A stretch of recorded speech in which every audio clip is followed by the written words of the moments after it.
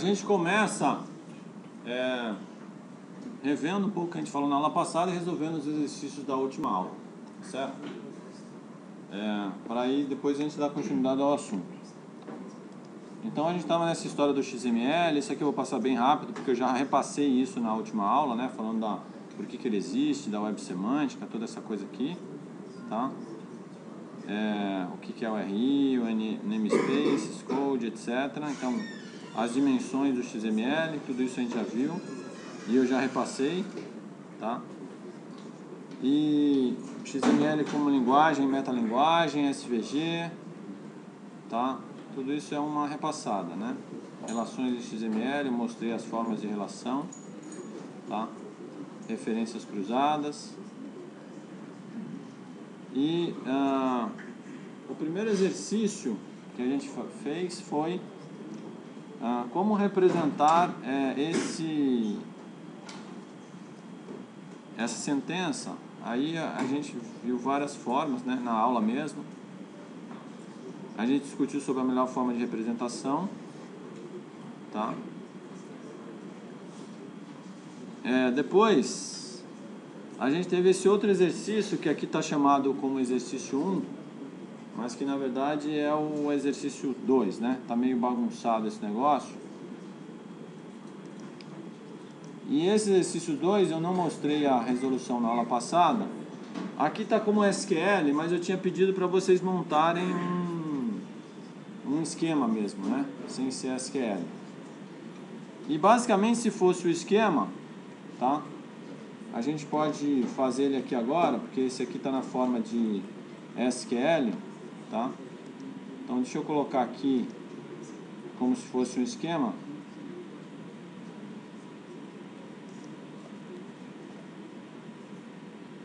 Deixa eu botar aqui no já botar aqui no Dropbox, que já fica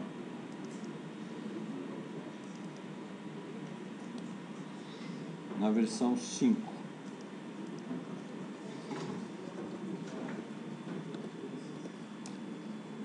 Então, na versão 5, na verdade, esse exercício, que agora vai virar 2, lá eu tenho que corrigir, mas seria o exercício 2. É, bom, eu pedi para fazer, na verdade, um esquema XML, tá? Que se a gente fosse fazer o equivalente a essa sentença aqui, tá? Em XML, ou XML não, desculpa, um esquema relacional, né? Então a gente teria uma tabela indivíduo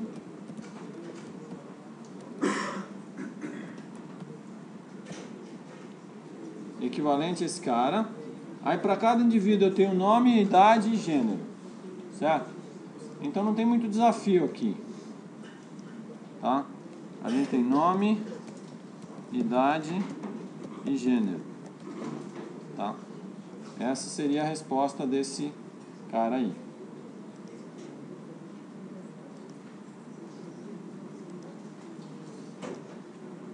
Aí,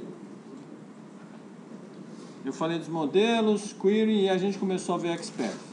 Eu fiz, eu falei sobre XPath e query, eu fiz uma melhoria nesse slide aqui, tá?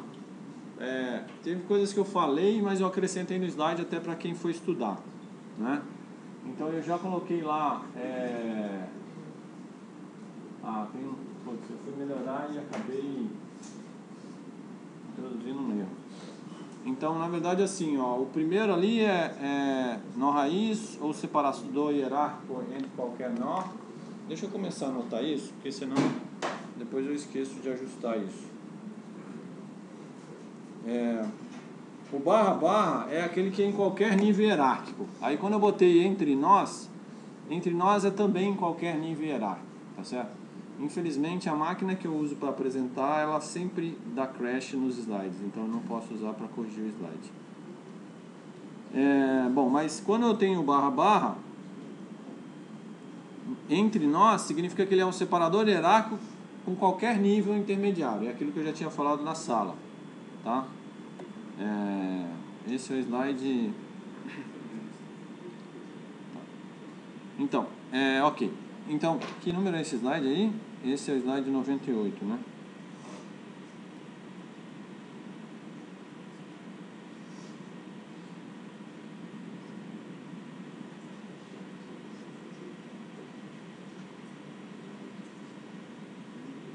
Ok. Tá. Mas aí eu acrescentei, né? Que se você botar arroba asterisco é qualquer atributo, que alguém tinha me perguntado, né? E é isso aí. E o text, que é o conteúdo textual do nó. E aí aqui estão os exemplos, né? Das coisas. Aqui eu também dei uma melhorada. Então, na verdade, o colchete, eu não tinha colocado isso de uma forma explícita, tá? Mas o, toda vez que eu uso o colchete, isso é chamado de predicado no, no XPath, tá? E aí, alguns acréscimos que eu fiz é que você também pode botar colchete um elemento e aí ele vai filtrar só os caras que tem aquele elemento. Eu só tinha, só tinha um exemplo do atributo, né? E eu também acrescentei aqui embaixo as possibilidades de você fazer expressões com elementos, além de fazer com atributos, tá? Mas isso eu tinha mostrado nos exemplos, é que eu só coloquei formalmente aqui agora porque fica mais fácil como referência. Oi?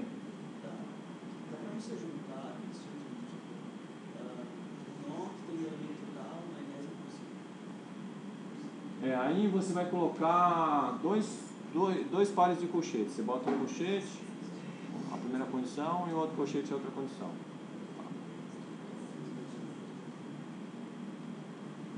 E aí você vai colocando aqui, ó, ele vai mostrando né, os exemplos. Tem um exemplo lá no XQuery que eu faço isso, tá? Eu uso dois pares de colchetes. Aí eu fui mostrando no XQuery, né? Onde estava, como é que era. Mostrei essa história da chave, que é toda vez que eu quero indicar valores de retorno dentro do, XML, quer dizer, não é uma coisa literal, né? E o data que extrai o conteúdo de um elemento ou atributo. Então, eu mostrei alguns exemplos de label. Eu acrescentei, eu, eu coloquei, é, é, corrigi esse negócio que quando você só põe a vírgula, ele concatena com, com espaço. Na verdade, às vezes, ele concatena botando uma coisa em cada linha. Depende da engine que você usar para para rodar esse negócio, tá? É, bom, é, aí eu comecei a mostrar os exemplos do fichário, né? A gente viu que tinha essa coisa que você pode usar XPath dentro do XQuery, tá? A gente foi vendo os vários exemplos. Aqui, ó, esse exemplo aqui que eu falei que não está lá no, no XPath, né? Mas você pode usar desse jeito que está aí, tá?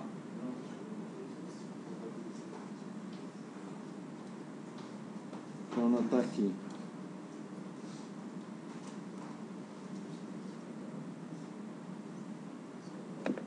É, bom, count, eu mostrei o count para vocês, tá? Eu mostrei o count combinado com o XPath. E aí a gente, na última aula a gente terminou falando do for, não foi isso?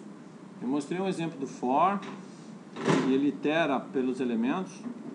Aí eu mostrei o for com o where, não é isso? E aí, ah, tá, uma, uma, uma coisa que eu não mostrei, tá? Quer dizer, o exercício aqui está fora do lugar, tá? É, tá, mas uma coisa que eu não mostrei é como colocar... Bom, eu vou mostrar isso depois. Antes disso aqui, veio esse exercício aqui, lembra? A gente estava com essa XQuery aqui, tá certo? E a minha pergunta foi qual seria outra maneira de você fazer essa experience. E a outra pergunta que eu fiz é qual é a diferença. Tá certo? Tudo bem? Entenderam? Bom, aí a primeira pergunta é qual é a outra maneira de fazer essa XQuery?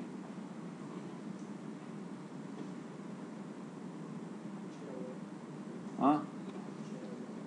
Tá, então vamos, vamos pegar aqui os slides de resposta.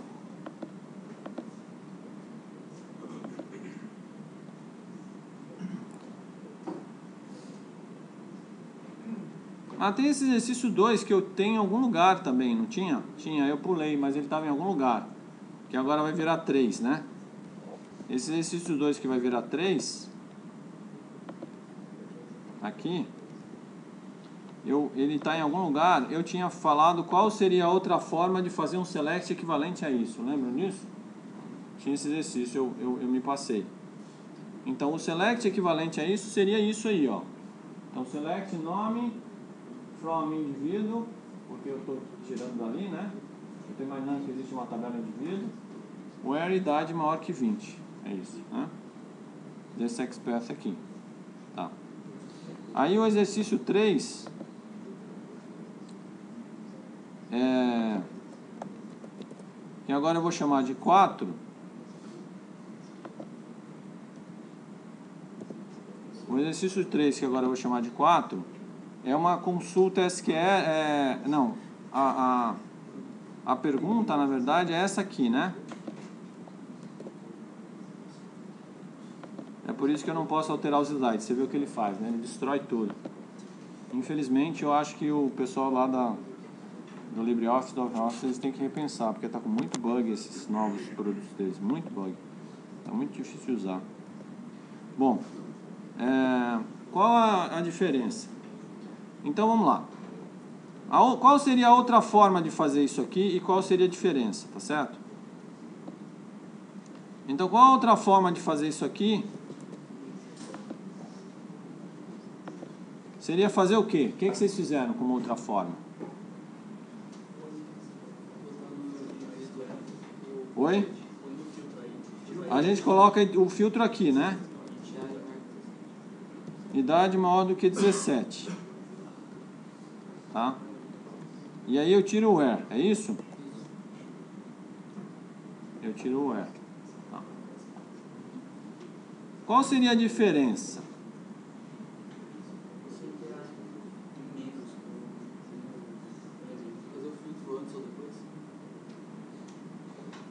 É. Será que vai interar em menos? Depende de como ele avalia isso, né? Mas o que, que eu quero que vocês entendam? Eu não tenho esse exemplo aqui agora, mas eu ainda vou achar ele porque eu já tive esse problema. Tá?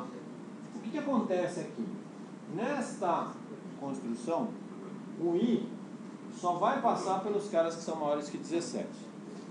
Nessa sentença toda, o resultado é sempre exatamente igual. Porém, teve um caso que eu já me debati uma vez, que aqui dentro eu precisava fazer esse filtro de idade maior de 17, mas eu precisava fazer uma outra coisa, um outro teste que envolvia também aqueles que não eram maior que 17. Por exemplo, você quer fazer um OR. Se ele for maior que 17 ou se ele tiver um status tal. Tá certo? E se você colocar aqui, você não vai conseguir fazer isso, porque os caras que ah, não são maiores que 17, eles não vão entrar no where. Então você filtra a priori, tá certo? O where ele tem condições de fazer condições mais complicadas, ele vai ser usado para joins. Então, se você filtrar antes no expert, você não vai ter os elementos que você precisa, às vezes, para fazer a coisa no where, tá certo? É só vocês saberem isso, então a diferença é essa, ok? Beleza? Bom, agora, para vocês aquecerem os motores, eu vou passar para vocês um outro exercício, tá? que é esse aqui. Eu quero que vocês escrevam isso em SQL agora.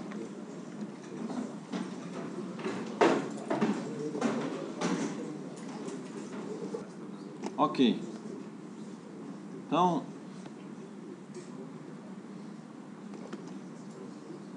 é, ah, eu esqueci de anotar uma coisa aqui.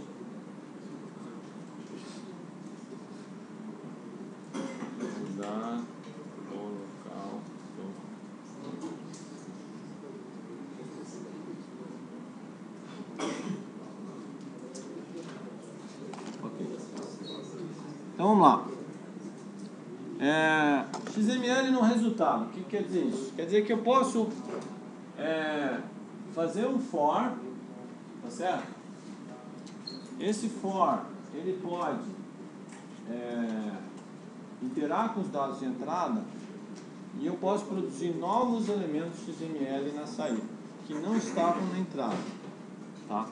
Então, por exemplo, esse tag maior que vocês estão vendo aqui, ele não estava na entrada. É, mas eu quero que saia um XML onde tenha maior e todos aqueles que são maiores do que 17 anos de idade, tá certo? Então, para fazer isso, eu coloco o tag maior.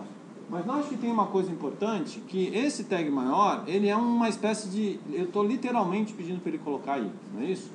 Então, note que eu uso a chave para diferenciar da parte do negócio onde eu estou avaliando uma expressão ou resolvendo uma expressão. Então, o maior em si não está dentro da chave, porque ele é literalmente transcrito na saída, mas a parte onde eu pego o valor do atributo nome é, fica entre chaves, porque é uma coisa que eu estou avaliando.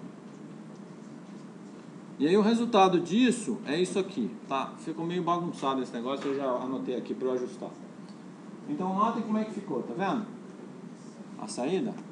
Aí eu pergunto para vocês, esse é um XML válido? Não, por que não? O bem formado, ele não tem raiz. E como é que você faria uma XQuery para colocar uma raiz aí?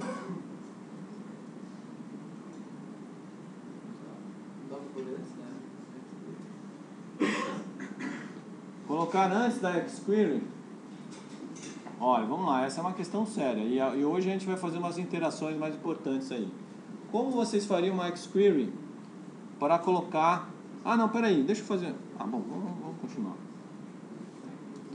Como é que vocês fariam uma XQuery para colocar uma raiz nesse documento?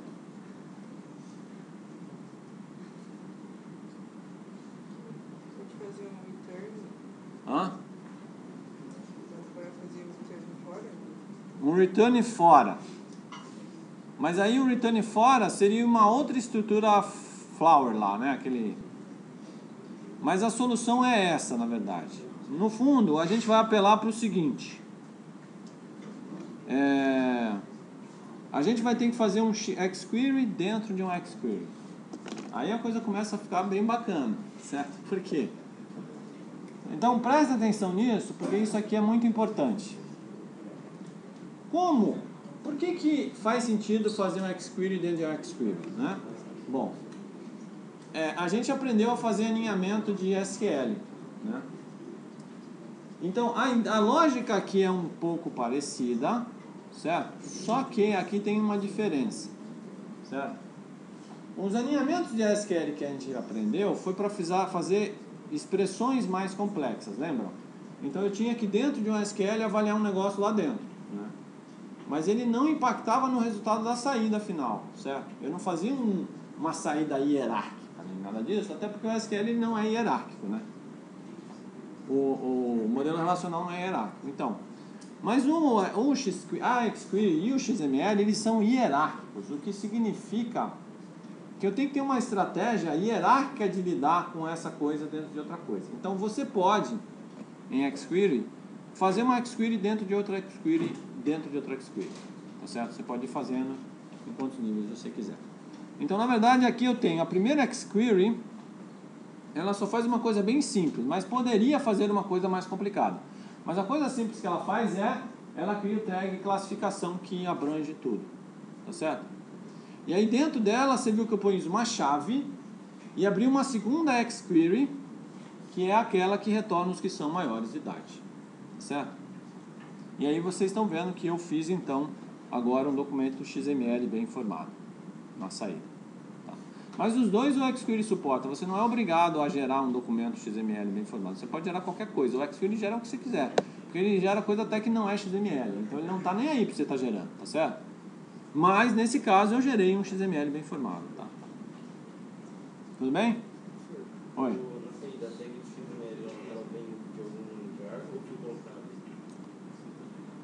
É, na verdade é porque aqui eu não estou mostrando a XQuery inteira. Mas deixa eu mostrar a XQuery inteira porque eu acho que vai ficar mais fácil você entender.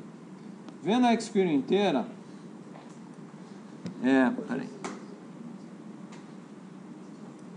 Agora eu estou colocando isso no Java to Learn, tá, gente? Tem eu tinha mostrado isso aqui. Tem um parâmetro que você bota que você disse que você quer gerar aquela, os valores daquela tag ali do, do XML. Deixa eu pegar ele, porque quando você vê a X-Square inteira, você vê esse parâmetro.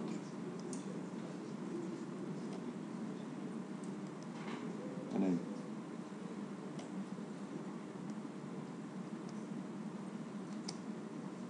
Eu andei fechando as coisas.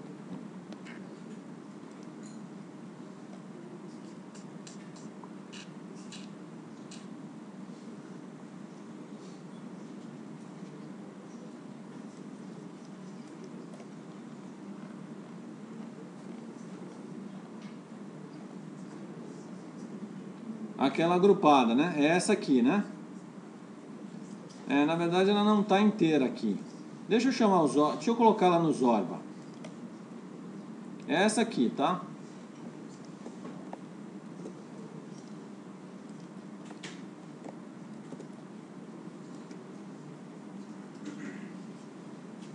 É, aí você está vendo que ele não está gerando o cabeçalho, né? Mas eu acho que se você colocar esse parâmetro aqui, ó, que eu não tinha colocado, que é um parâmetro que você vai dizer para ele coisas que ele vai colocar no XML, que é esse aqui, ó. Por exemplo, tá? Se você colocar isso aqui, aqui em cima,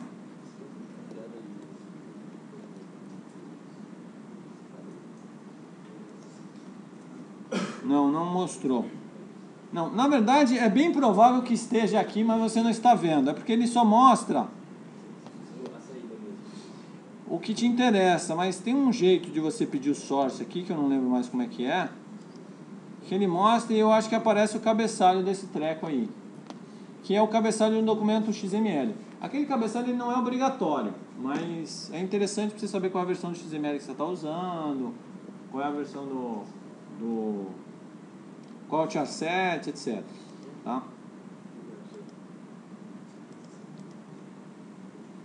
Tá.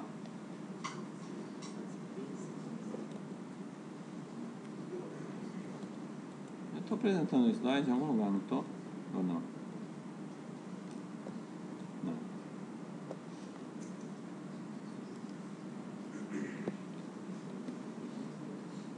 Bom, isso aqui é um exercício para casa, depois vocês veem. Eu quero que vocês esperem, transformem o arquivo XML em sequência em insert. Mas eu não vou cobrar de vocês entrega disso não, mas é para vocês fazerem como exercício, se vocês quiserem, tá?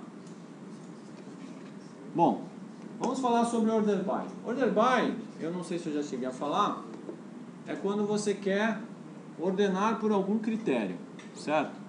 Então você escreve lá vocês estão vendo que a gente está mapeando para cá tudo aquilo que vocês já tinham visto lá no lá no no SQL, né? Então você escreve lá order by, você diz o critério e aí ele vai ordenar a saída pelo critério que você estabeleceu, tá? Por exemplo, eu mandei ordenar pelo nome. Então agora ele está colocando Doriana antes do Quincas, mesmo Quincas, ou primeiro a Doriana, depois o Quincas, mesmo Quincas aparecendo antes, tá certo? Então o order by faz isso, ele ordena pelo campo que você estabelecer, tá certo? Você pode inclusive ordenar por mais de um campo, certo? Saca mais de um campo? Aí você põe vírgula o outro. Aí ele ordena pelo primeiro e dentro do primeiro pelo segundo. Tá certo? Hã? Ele ordena pelo que você vai botar primeiro, aí depois dentro, quando tiver repetido dentro do primeiro, pelo segundo e assim por diante. Tá? Tem um negócio chamado if. E vocês têm que tomar cuidado com esse negócio chamado if, porque ele não é o que a maioria pensa que é. Certo? O que, que o if faz? Ele é uma espécie de chave de condicionamento para você gerar saídas alternativas. Certo? Então, por exemplo, vamos supor que se o cara for maior ou igual a 18, eu quero que ele saia com o tag maior, mas se ele for menor do que isso, eu quero que ele saia com o tag menor, tá certo? Então, o if ele faz isso aí, ó, no return, a gente usa ele no return, a gente bota if a nossa condição, que está em XPath, tá certo? Then, aí você bota o, o que, que você quer, se a condição for verdadeira, else o que, que você quer, se a condição for falsa. Aí ele vai comutar a saída que vai ser gerada. É só isso, ele comuta para uma, comuta para outra. Tá? Hã? Sempre tem que ter o. Ah, eu acho que se você não colocar o else, ele não gera saída para aquele cara. Tá?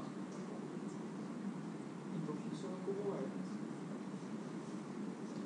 não funciona como where porque ele resolve só na hora de apresentar. Então ele vai iterar por aquela tupla, mas na hora de apresentar ele não apresenta. Tá? É basicamente isso. Mas if, then, sem else não faz tanto sentido, tá? Eu acho que ele aceita, eu nunca testei, mas não faz tanto sentido, né? Porque o if ele não é, ele é mais para você ficar comutando saída mesmo. Então se não tem else, seria melhor você ter colocado no where. Certo? Bom, é, para mostrar o exemplo, o próximo exemplo agora, eu vou retomar um exemplo XML que a gente já tinha visto aqui na sala, lá no começo. Eu vou retomar ele, porque agora eu vou explicar para vocês como é que faz join. Tá? Bom. Então, eu quero o seguinte, agora se preparem porque vocês vão fazer exercícios em cima disso, para a gente depois fazer o join. Tá certo? Então eu quero que vocês imaginem que existem autores, certo? Tudo bem? E então tem o tag autores aqui e que dentro de cada autor eu vou ter o nome e a idade daquele autor, certo? E os livros que aqueles autores escreveram. Tudo bem? Tá? Pode ser? Então agora eu vou fazer um exercício aqui com vocês agora. Podem que, que eu quero que vocês façam? Eu quero que vocês façam em XQuery, tá? Eu quero que vocês me apresentem, tá? É, hã? é coloca como dois, tá? Eu quero que vocês me apresentem todos os livros que foram escritos depois do ano 2000. Tá? Todos os livros escritos após o ano 2000 tá? É, para vocês usarem como referência, eu vou pegar um outro XQuery e vou deixar aqui para vocês usarem como referência, tá? Porque vocês não precisam saber esses negócios de core, né? Então eu vou pegar esse aqui, por exemplo, tá? Que é um XQuery, tá? Que tem todos os elementos. O problema é que vai ficar, eu não sei se vocês vão ter as duas coisas, né? Talvez, peraí, deixa eu fazer o seguinte. Deixa eu ver se eu coloco um do lado do outro. Isso.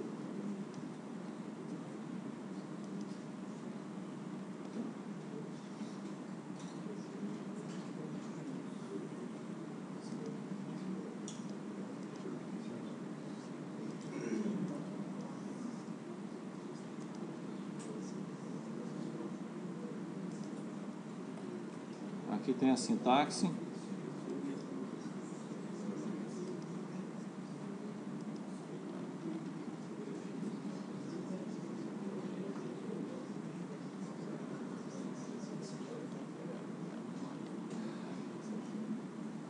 E aqui eu vou colocar para vocês o arquivo para vocês. É esse aqui, ó. Vocês conseguem ver os dois? Conseguem?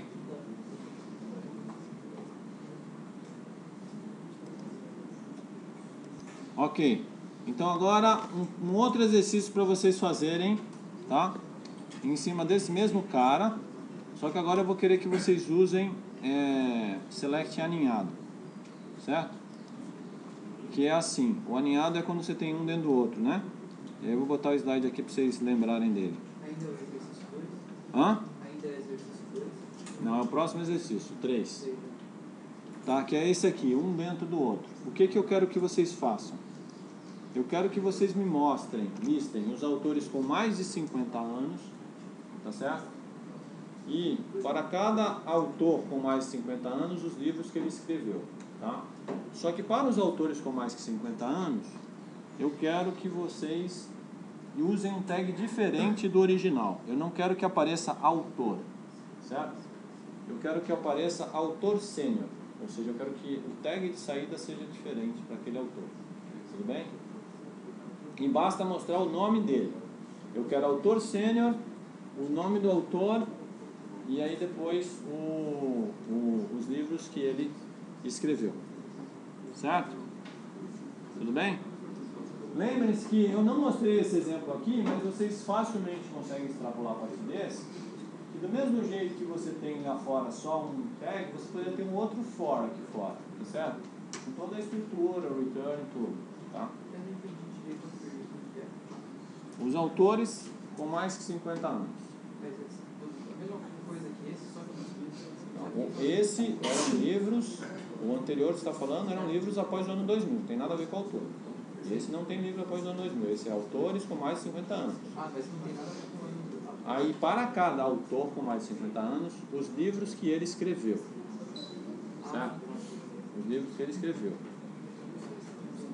Entendeu? Só que eu quero que você use para o autor um tag diferente chamado autor sênior. E o nome dele. Você vai aparecer o nome, autor sênior e o nome.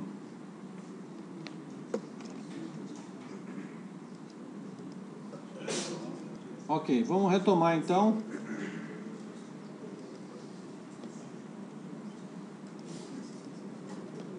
Deixa eu fechar esse cara aqui.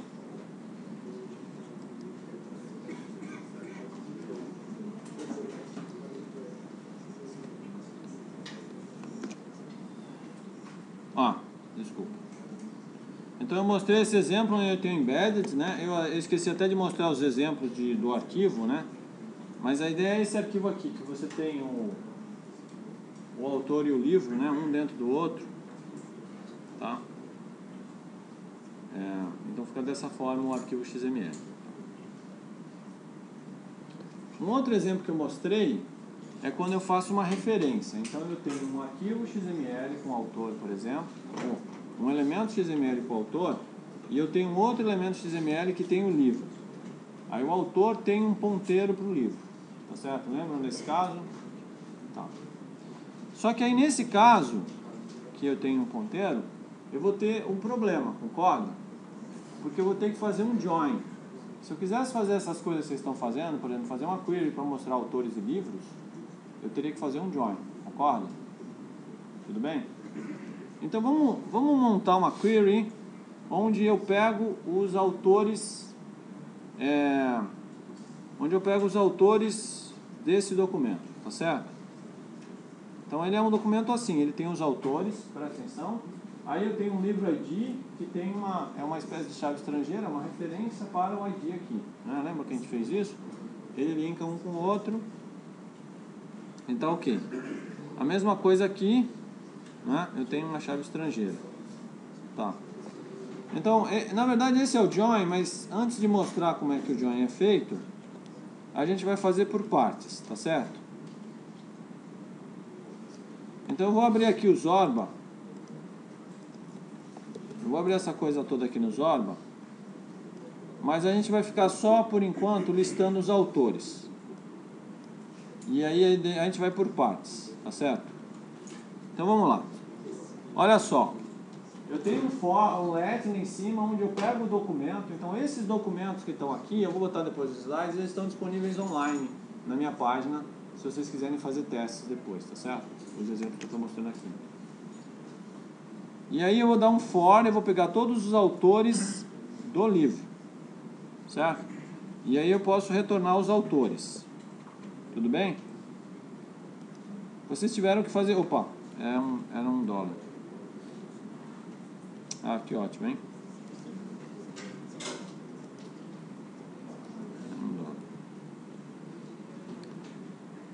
Tô vendo a tecla errada. Bom. Tá, então esse for, eu acho que é um for parecido com o que vocês tiveram que fazer no exercício. Ele retorna todos os autores que estão nesse catálogo, tá certo? Tudo bem? Tá? Então vamos ver como é que eu faço a construção do join agora. Então, a construção do join ela é feita da seguinte maneira. Eu tenho a variável A correndo. Vamos olhar a estrutura do documento aqui. Porque pela estrutura do documento você entende melhor o que eu estou fazendo.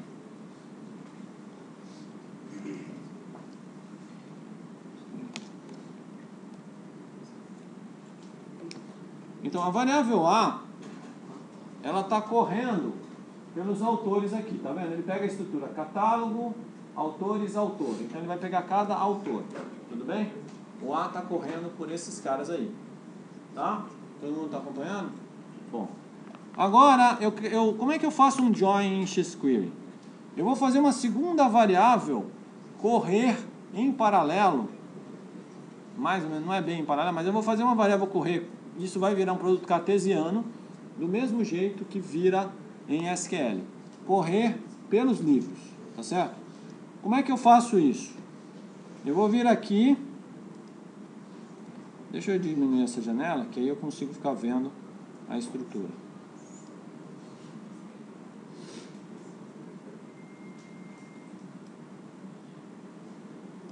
Então, eu vou botar uma vírgula, tá? E aí eu vou dizer que eu tenho uma variável L que corre em paralelo por outra parte do documento. Certo? Qual é essa outra parte do documento?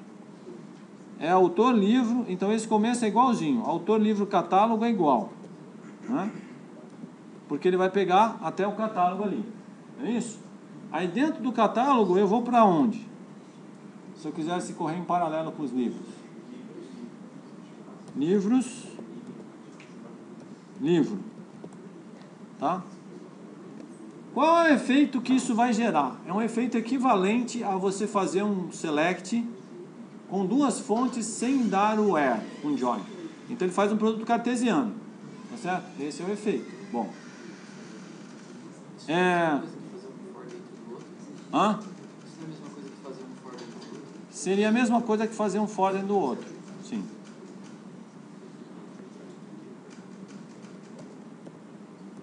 Eu não sei se ele vai aceitar. Peraí, tem alguma coisa que ele está reclamando. Deixa eu ver se é a falta da vírgula. Peraí.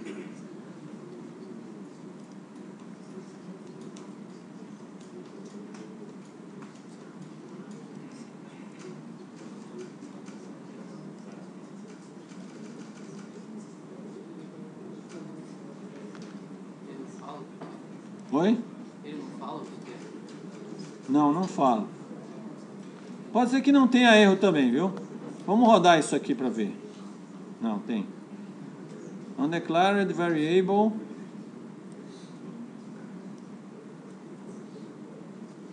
Ah, L. Ele não está entendendo esse cara aqui como sendo. Será porque eu botei aqui?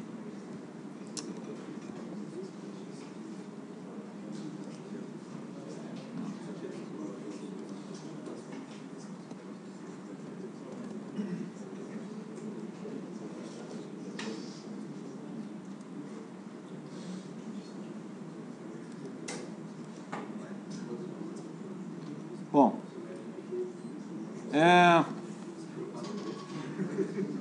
deixa eu copiar esse for aqui. Eu não sei o que, que tem. Ou eu não sei se ele não aceita eu fazer sem o where também. Pode ser que ele, ele não aceite eu fazer sem o where, que eu não fiz o teste de fazer sem o where.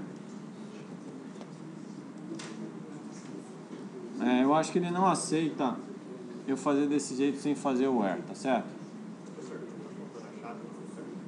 Oi? Ah, a chave do return, você tem razão.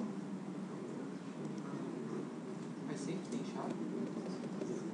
Quando você vai retornar, quando você vai pegar o conteúdo de coisas, vai- você vai avaliar expressões, sim. Você tem que colocar a chave. Muito bem, obrigado. Como é o teu nome mesmo? Paulo. Paulo, obrigado, Paulo. Eu não tinha prestado atenção nisso. Então o que, que ele vai fazer aqui? Ele vai fazer um produto cartesiano. Tá certo? Então ele vai pegar o primeiro autor com o primeiro livro, o primeiro autor com o segundo livro, o primeiro autor com o terceiro livro, independente se aquele autor escreveu aquele livro. Tudo bem? Por exemplo, é, é, se a gente pegar o, o, o XML original, a gente vai ver que Doriana só escreveu alguns livros, um livro na verdade, tá certo? Dá pra gente olhar aqui o XML original numa outra aba, tá? A gente vai ver que Doriana só escreveu, por exemplo, Doriana, ela escreveu Horácio Udino.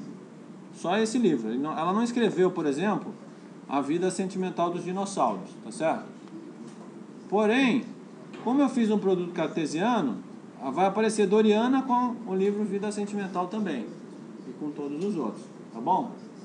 Ó, o que eu quero agora é fazer um join mesmo. Então, o que é um join conceitualmente? Ele é um produto cartesiano com uma seleção, conceitualmente. É claro que na implementação depois, o, o, quem vai resolver a query, quem estudou isso, ele vai otimizar o processo para não ser tão custoso assim, tá certo? Mas do ponto de vista conceitual, ele é assim. Então a gente vai fazer o que aqui agora? A gente vai colocar um where, tá? O A. Aí a gente vai se perguntar, quem casa com quem, certo? Então vamos ver a estrutura aqui. Então é o livro ID, notem que livro ID é um atributo, vai casar com o ID do livro certo? Então você vai fazer assim, ó. A barra, arroba, porque é um atributo, livro ID é igual a L, oh, não tem arroba não, é dólar. Dólar L, arroba ID. Certo? Então o que, que eu estou fazendo aqui? Eu estou casando o ID, o livro ID com. É uma chave estrangeira com uma chave primária. É o princípio do join. Tá? Chave estrangeira com chave primária. Ah, é, você pode usar o XPath se você quiser, né? mas você pode colocar a expressão direta aí, tá? assim desse jeito. Porque nesse caso não é para ser colchete, porque o colchete ele, ele, ele é um predicado dentro de um path. Tá certo? E isso não é um predicado dentro de um path, é uma expressão que está comparando dois pedaços diferentes do XML. Tá. Você entendeu? E você pode fazer isso no where, você coloca livremente lá uma posição. Então, olha só, o que, que eu fiz agora? Eu fiz um join mesmo, tá certo? Ou seja, eu fui lá e disse assim, olha, eu quero somente o caso onde o livro é Então, se você olhar aqui agora, Doriana só vai sair associada a Horácio Udino. Asdrubal livra vida sentimental dos dinossauros. Alcebiades, né? E Melissa, tá vendo? Então, vocês estão vendo que a gente conseguiu agora fazer um join. Bom, é claro que vocês podem depois, se quiserem, dar uma tratada nesse, nessa saída, né? Para não ficar essa saída tão horrenda. Por exemplo, aqui, nesse que está no slide, a saída já está tratada. Tá? Deixa eu até fazer uma coisa aqui, antes disso. Deixa eu copiar essas coisas intermediárias, porque eu acho que elas são importantes.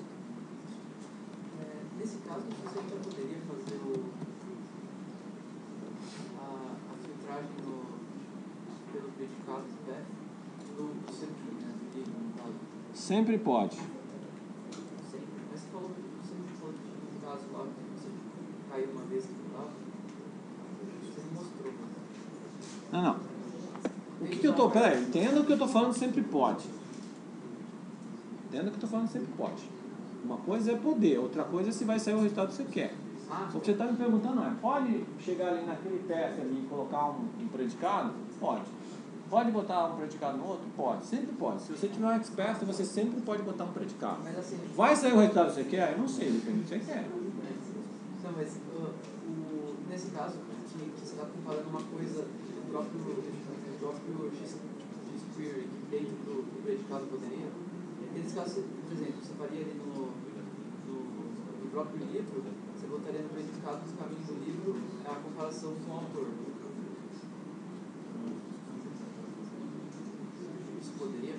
Você não consegue fazer o equivalente ao join em XPath, eu acho. Eu nunca vi, mas você não consegue. Por quê? Porque um join é um pedaço, não é um caminho, são dois caminhos separados. Porque note, a, a noção de um caminho é sempre uma hierarquia. É uma, o resultado de um caminho é sempre uma árvore. Tá certo? É uma árvore sempre. Tá? O que eu estou fazendo aqui não é uma árvore, porque eu estou pegando um caminho, que é uma árvore, outro caminho, que é outra árvore, e eu estou fazendo um join dos dois. Certo? Então eu estou pegando duas árvores e conectando elas. Certo? Então você não vai conseguir expressar isso em Express. Eu acho, pelo menos. Não, tem. não, não com expert sozinho. Seria usando Então, mas é o predicado, ele, ele, ele é parte do express, ele não é. Então, o predicado ele se aplica àquele pedaço onde você está. Ele não faz join. Como é que você vai botar no predicado a comparação com um cara que é um pedaço de um outro documento? Não, tem. Não, não seria tudo no expert. A ideia é, tipo, eu, eu perguntei se tipo, se você conseguia, conseguiria botar essa condição do where no, no, segundo, na segunda coisa do, do for, entendeu? Mas como? Porque o segundo caminho do for só está vendo o livro. Ele não conhece autor. Como ia aparecer o autor lá? Então, é isso que. Você não pode usar o, no, no predicado. Você criaria um predicado né, no segundo. Daí, Cada, cada expert só vê ele mesmo. Ele não conhece o documento. Ele, ele não tem nada a ver com o expert. Ele é, ele é, ele é um pass. Ele não conhece o resto do expert. Ele nem sabe que existe. Ele é um pass. Então, Então, é, ah, eu quero pegar um pedaço. Não, ele não sabe que tem outro pedaço. Ele é um pass. É uma forma de escrever um caminho. Então não tem, ah, eu posso pegar o do anterior para usar na minha. Não, peraí, aí isso não é expert mais. Isso é outro negócio aí que você está querendo criar.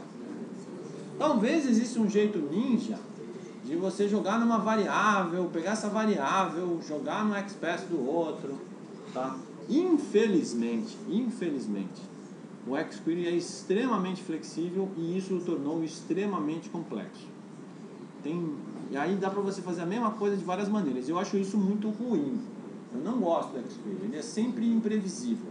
E você vê as, a literatura e vê os livros e você vê gente fazendo coisas diferentes. Pode ser que um doido esteja fazendo o que você está falando aí, mas eu acho isso bem ruim. Assim. Eu não faria. Pode ser que tenha um jeito, eu não vou duvidar não. Porque você pode atribuir valor à variável, aí sei lá, eu atribuo, aí joga no outro expert. né? Talvez tenha um jeito, tá? Mas, mas provavelmente se você fizer isso, você vai ter um segundo problema. Mesmo que você consiga, o otimizador de consulta não vai conseguir otimizar a consulta porque ele não está sabendo que você quer fazer um join. Você entendeu? Porque aqui, essa é a forma, vamos dizer assim, clássica de fazer join. Tá? Aí o otimizador de consulta diz, ah, esse cara está fazendo join, eu vou otimizar o join. Aí vai fazer aquilo que a gente estudou lá.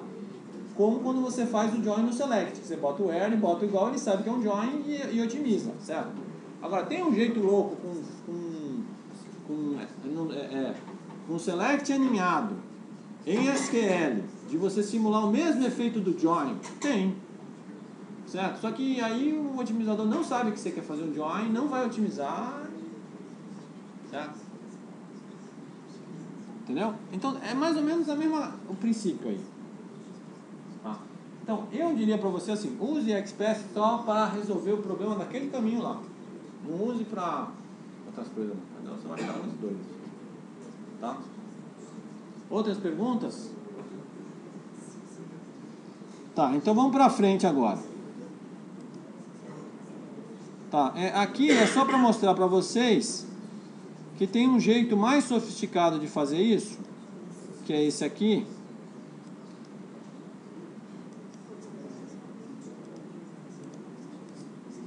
É, vocês verem o estado que está. Infelizmente, o estado que está esse OpenOffice. Ou LibreOffice. Infelizmente, está assim. Bom. Aqui o que, que eu fiz? É a mesma consulta, só que agora eu estou pedindo para ele o seguinte: eu estou pegando só o atributo nome, só o atributo título, e aí eu estou criando labels e concatenando. Então aqui, por exemplo, a saída vai sair assim: ó. o autor, o livro, o autor, o livro, o autor, o livro, o autor, o livro. Tá vendo? Todo bonitinho, todo arrumado. Tudo bem? Entenderam? Tá, agora vamos, vamos, vamos para frente.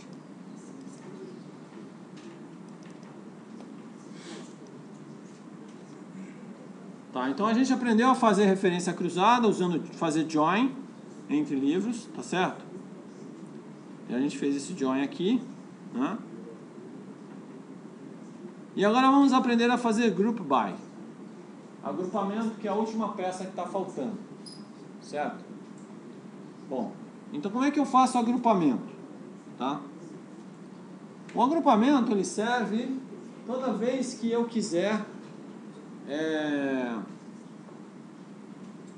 toda vez que eu quiser agrupar por algum critério. Por exemplo, suponha que eu quero saber quantos livros é, foram publicados em cada ano, certo?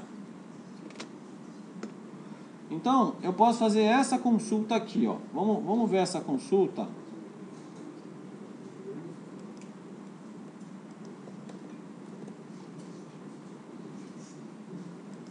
Ao lado do, do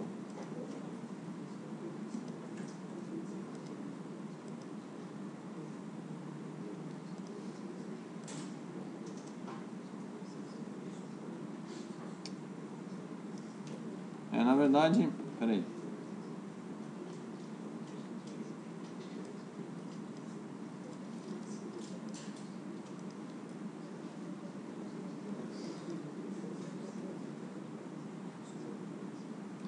Então tá aqui o, o arquivo, né?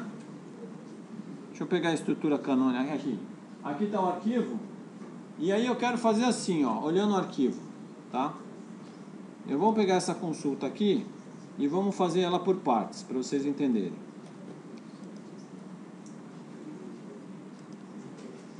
Então vamos fazer assim, ó.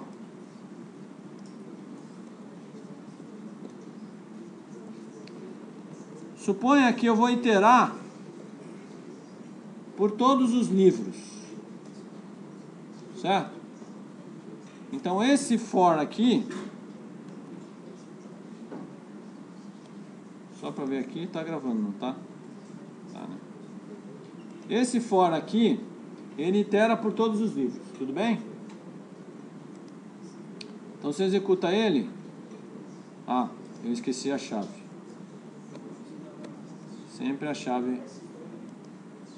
Ah, é cifrão. É porque esse teclado aqui, eles tiveram a ideia de fazer a, a tecla da mesma cor do, do label. Aí ne- nessa posição que eu tô aqui eu não consigo ver. Você tem que fazer assim para ver. Os caras que criaram esse vai, eles foram geniais. Em certos ângulos você não vê as teclas. Eu não sei por que eles fizeram isso. Bom, é... Então você tem aqui os livros, né? Eu estou iterando pelos livros, tá certo? Então dê uma olhada nesses livros e vocês vão ver que eu tenho um livro de 2015, outro livro de 2013, outro de 2015 e um de 2014, tá certo? Opa, isso aqui é outra coisa. Então eu tenho quatro livros de. Então eu quero saber quantos livros eu tenho em cada ano, por exemplo, tá certo? Tudo bem? Então o que, que eu vou fazer aqui? Eu vou pedir para ele para agrupar, então eu vou dar um group by, tá? E vou dizer para ele que eu quero agrupar pelo ano. Então é livro barra arroba ano, certo? Significa que ele vai agrupar o livro pelo atributo. Observem aqui que tem o atributo ano. Ele vai agrupar o livro pelo atributo ano, certo? Ele vai agrupar o livro por ano. Aí, aqui embaixo, eu posso chegar e pedir para ele dar um count. Certo? Então, na hora que ele der um count, ele vai me mostrar quantos livros eu tenho por ano. Certo? É claro que aí ainda não estou vendo o ano. Certo? Quantos livros eu tenho por ano. Aí eu posso chegar aqui. Isso é uma coisa meio estranha no XQuery, que é diferente do SQL, tá certo? Que é assim, ó, eu posso chegar aqui e pedir para ele me mostrar o ano. Tá? O que é diferente no Peraí, aqui é porque esse ano ele vai ser quando é só o atributo assim, ele tem essa é, é, é as coisas que a gente vai aprendendo no XQuery. Você tem que botar esse data aqui para ele pegar o conteúdo, tá? Senão ele reclama, diz que não é um número e enfim. Então, o que, que é curioso no XQuery? O curioso no XQuery é que quando você manda agrupar, no SQL, se você mandar mostrar o atributo ano, ele mostra só uma vez, tá certo? Porque você está agrupando por aquele campo, tá certo? E aqui, eu não sei se esse é um problema do Zorba, eu não testei em outra plataforma para ver se é um problema do Zorba, se é um problema, se o XQuery é especificado assim, ou se sou eu que não estou sabendo fazer alguma coisa, tá certo? Mas o que vocês percebem é que ele mostra o ano duas vezes. É como se ele botasse um pacotinho o ano duas vezes, tá certo? Ele não itera duas vezes. Ele não itera duas vezes, porque você está vendo que ele está mostrando um count uma vez só. Né? Então significa que esse pacote ele está mostrando dois. O que ele fez, de alguma maneira, é que o L ano ali virou um pacote com duas vezes o ano, tá certo? Porque ele faz isso, vai saber. Tá? Mas, mas. É. Não é divertido isso? Fica bem divertido aí, se souber. É, vou dar uma olhada melhor depois para descobrir como talvez é, é, superar esse, esse tipo de problema. Deve ter ali alguma. É, deve ter alguma estratégia para ele não fazer isso. Tá certo? É, tá, mas aqui é só para vocês conhecerem o Group By. Tá? Tudo bem? Todo mundo entendeu o Group By? Tá. Então agora que vocês entenderam isso, a gente vai fazer umas coisas mais sofisticadas é... Vou pegar esse aqui.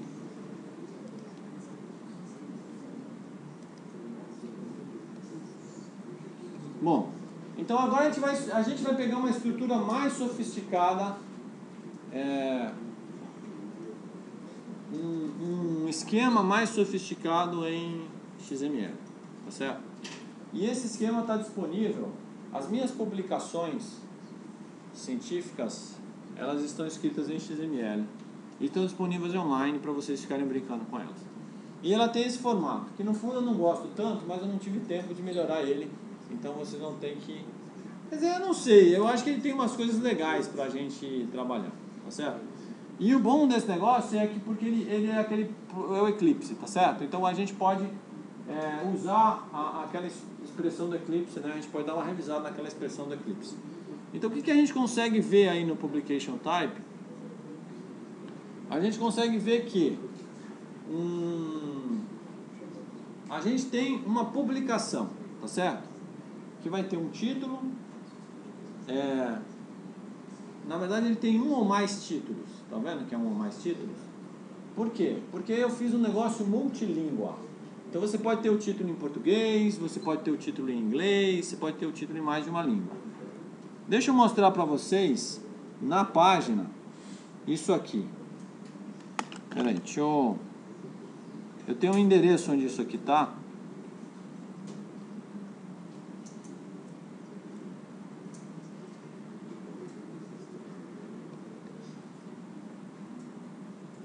Peraí.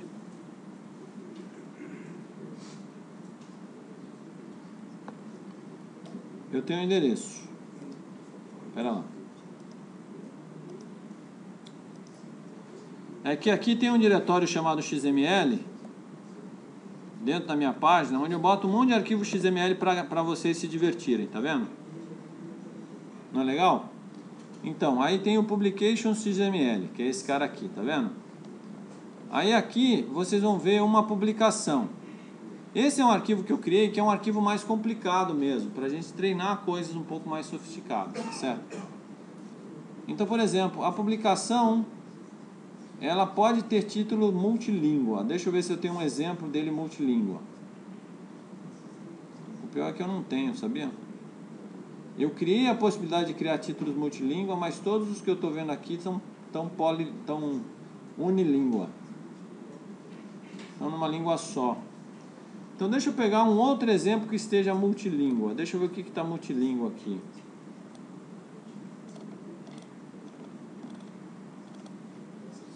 Eu acho que as categorias estão multilíngua. É, algumas coisas aqui estão multilíngua. Que é isso aqui, ó. Por exemplo, é label, aí tem uma língua em inglês e tem uma língua em português, na verdade. E as coisas que são assim tem um atributo dizendo qual é a língua, tá vendo? Então esse tag aqui, por exemplo, label, tem um atributo dizendo qual é a língua e aí tem o conteúdo dele. Aí eu posso ter mais de uma vez o atributo label com línguas diferentes, por exemplo. Essa foi uma decisão que eu tomei, tá vendo? Então, é... então por exemplo, o título ele pode ter múltiplos títulos com mais de uma língua. Tá? É, a publicação pode ter vários autores. É, vai, ela pode fazer parte de um evento, uma conferência, por exemplo. Aí tem ah, o local, o início, quando começou, quando terminou. Pode ter aí dizendo qual é o journal, se, for, se ele for publicado num periódico, qual é o periódico que ele foi publicado. Qual foi o mês, qual foi o ano. Se tem um link online, ou mais de um link online para aquele cara. E chaves, né? chaves sobre aquele assunto. Então, por exemplo, se você pegar as publicações, você vai ver que as publicações elas têm chaves aqui, tá?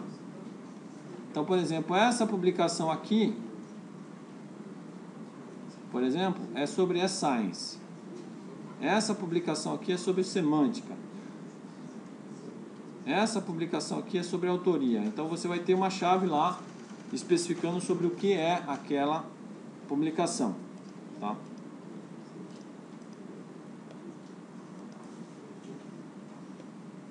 Aí depois tem as categorias. As categorias, eu posso ter definir categorias também é multilíngua, então eu posso definir o nome da categoria em português, em inglês, tá? Então toda categoria vai ter um atributo que é a chave da categoria e o valor da categoria, tá? É, então, ah, aí depois eu tenho um grupo de categorias que vão agrupar várias categorias. Então, por exemplo, eu posso ter a categoria. Aqui eu posso ter, por exemplo, deixa eu mostrar aqui o grupo de categorias. Eu tenho um grupo de categorias que são. Eu posso categorizar as coisas por ano, tá vendo? Ou eu posso categorizar as coisas por assunto. Aí eu tenho categorias por assunto. Tá? E, além disso,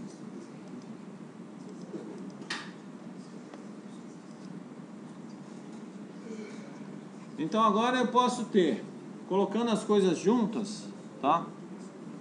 É, é, quando eu faço é, um, um conjunto de publicações, eu posso ter categorias daquelas publicações e as publicações. Tá certo? Então tudo junto fica assim. Eu tenho as minhas publicações e eu tenho as minhas categorias. Tá certo? Uma coisa é a chave da minha publicação, a chave da minha publicação, ela se liga a uma categoria, tá? Então toda vez que eu, tá vendo que a categoria tem uma chave lá, aqui, e aqui eu tenho uma aqui? Então toda vez que eu tenho uma publicação, a chave da publicação se liga à chave da categoria, tá? Então agora eu queria que vocês fizessem esse exercício aqui para praticar X-Query. Eu vou botar um X-Query de modelo aqui. Mas quais são as publicações posteriores a 2011? Vamos lá. Hã? É. Ah não. Hã? É, bota 4. Tá como questão, mas eu quero que você faça como exercício. Eu acho que é melhor fazer como exercício. Para fazer essa questão, eu vou abrir janelas aqui com as várias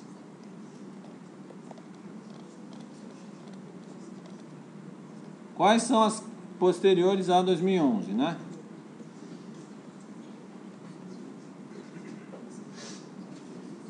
Para isso,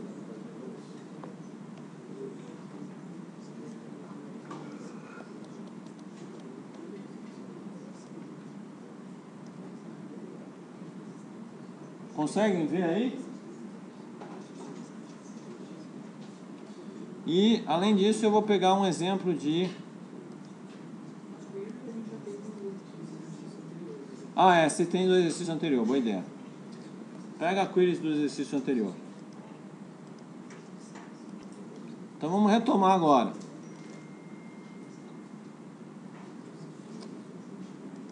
Então esse cara aqui tem a resposta aqui, mas eu não vou mostrar agora. Agora eu quero que você retorne a categoria cujo label em inglês seja e-science domain.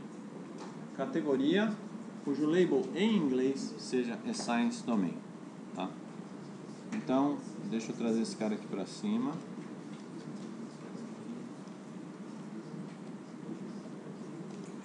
E eu vou botar aqui para vocês o slide da categoria. É esse aqui. Vamos lá. Ah, quase esqueci a resposta. Opa. Join. Vocês estão tentando rapidamente ver, né? Mas não. Não vou deixar vocês verem. Então isso aqui agora é um join. O cara que está assistindo o vídeo, ele está voltando o vídeo para ver o que, que tinha para responder a minha questão, acho. Então, mas agora vamos lá. Esse exercício é o seguinte. Retorne as publicações associadas à categoria label em inglês, seja Science também. Então foi o que vocês fizeram, tá certo? Retorne publicações associadas à categoria cujo label em inglês seja Science também. A associação entre o label e a categoria deve ser feita na consulta. Tá? Então, é, olha só, eu tenho publicações, deixa eu pegar aqui o, o slide que mostra ah, o cenário maior aqui agora.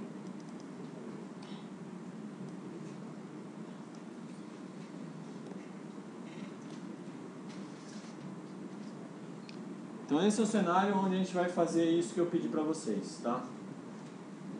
É, eu tenho é, publicações ali, tá vendo? E as publicações, aqui uma publication dessa aqui, ela tem um key aqui embaixo, tá vendo?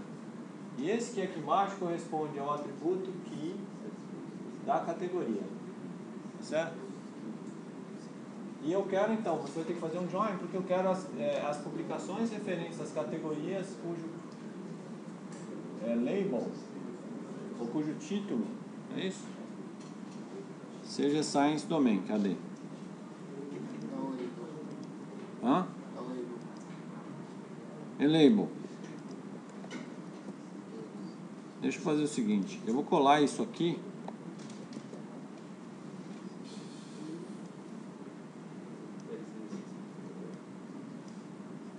As publicações ao, ao, ao, cujo label em inglês seja Science também. Tá? Então é categoria.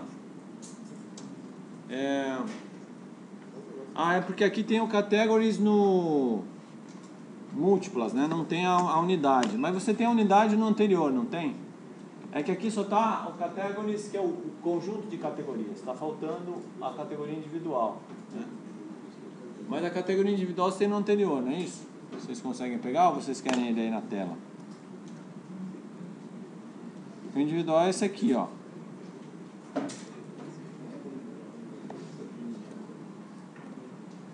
Se vocês quiserem, eu tento encaixar em algum canto aqui.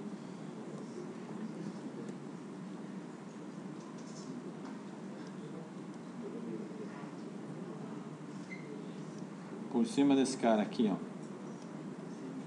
Então tem o key e o label, tá vendo?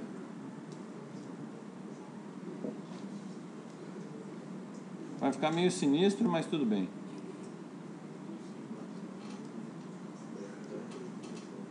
Dá pra botar aqui assim, ó. Pra vocês verem.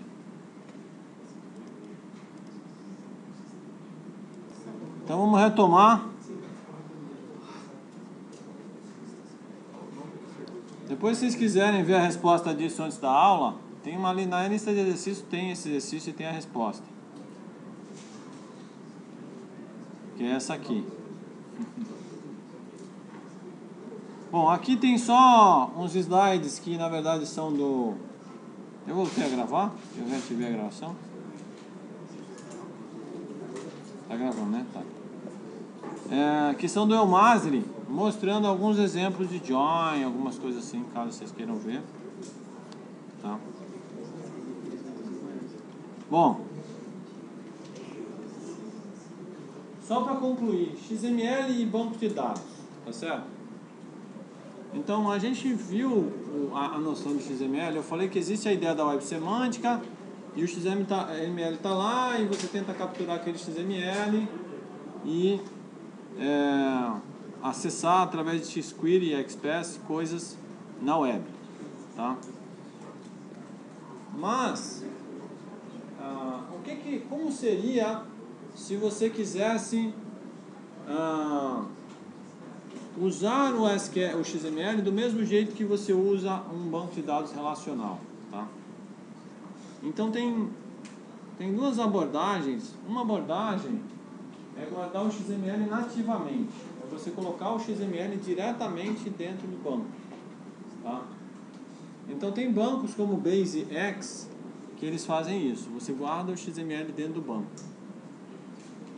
É claro que o banco vai otimizar lá internamente para aquilo ali talvez não ocupar tanto espaço. Ele cria estruturas de índices para achar as coisas mais, mais rápido. Por exemplo, que, lembrando sobre índice, que estrutura de índice vocês criariam automaticamente num documento XML? Hã? Hash? Mas hash para quê? Para indexar o quê? Todos os elementos? Hã? Ah, os IDs. Então eu vou pegar os atributos ID e faço um hash, né? Porque eu sei que eles vão ser usados para referenciar e eles são únicos. Tá? Por exemplo. Então o, o XML tem essa coisa de ele ser um, um padrão para intercâmbio e armazenamento e um modelo tanto para documentos quanto para dados ou registros. Tá? Tem coisas que eu não vou entrar em detalhe aqui, mas tem outras estratégias de você trabalhar com XML, que a gente não vai ver aqui, é só para vocês saberem que existe. Por exemplo, existe um padrão chamado Document Object Model, e eu tenho até vídeos que eu ensino a fazer isso, e um outro padrão chamado SACS, que são padrões para você processar documentos XML. Tá? Então, como é que funciona isso? O SACS, por exemplo, ele permite que você pegue um documento XML ele lê esse documento, ele vai gerando eventos, avisando o teu programa. Achei um elemento, achei um atributo. E aí você vai fazendo coisas, tomando decisões, a depender do tipo de coisa que ele vai achando. O DOM, ele constrói uma árvore na memória a partir da estrutura do seu documento. Ele cria uma árvore. E aí depois ele tem comandos que você pode usar para navegar por essa árvore na sua aplicação e esse é um padrão que foi definido pelo W3C. Por quê? Porque essa árvore ela pode ser usada em Java, ela pode ser usada em JavaScript, ela pode ser usada em outras linguagens. Tá? Tem uma outra técnica que eu também não vou ensinar para vocês aqui, mas você faz um data binding. Que a ideia é que o, você pode ter uma equivalência entre objetos e documentos XML. padrão XML você pode fazer esse binding. Então aqui é o sax, é só para mostrar como é que é o sax, ele vai gerando eventos para mostrar a estrutura do documento. Tá? Ele tem evento para start document, end document, structures. E o DOM é esse que gera uma árvore. Né? Então ele tem, por exemplo, aquele que a gente viu lá, né? então ele vira uma árvore e isso fica na memória e você consegue. É... ele tem vários níveis também, eu não vou entrar em detalhes aqui agora. Tá? É, tem vários tipos de nó, a depender do que você está olhando no documento. E ele tem métodos, o DOM ele tem métodos para você navegar pela árvore, pegar o próximo filho, sair navegando pela árvore e sair pegando as coisas que você quer. Então essas são outras formas. Tá? Essa parte da RDF vou pular. Os agradecimentos. Obrigado, gente. Então a gente se encerra por hoje.